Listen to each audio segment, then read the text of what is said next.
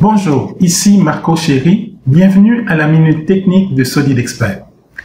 Dans la démonstration d'aujourd'hui, je vais vous montrer comment recréer les références pour un projet quand on a déplacé ou renommé un répertoire.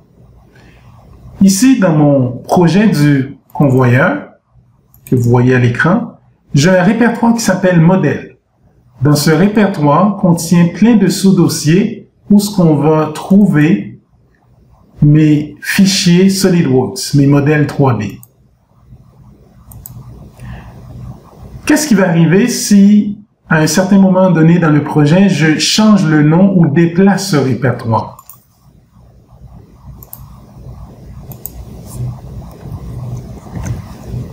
Maintenant, ce répertoire s'appelle 3D modèle.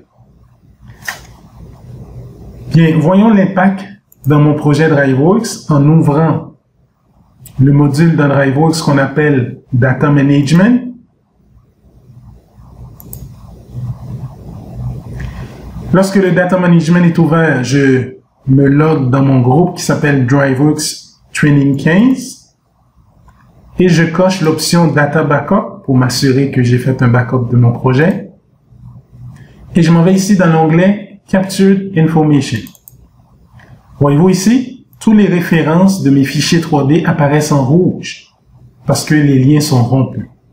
Pour recréer ces liens, je sélectionne le répertoire, je clique sur le bouton Change Location et à travers mes dossiers dans Windows, je vais repointer dans mon projet du convoyeur le nouveau répertoire qui s'appelle maintenant 3D Model.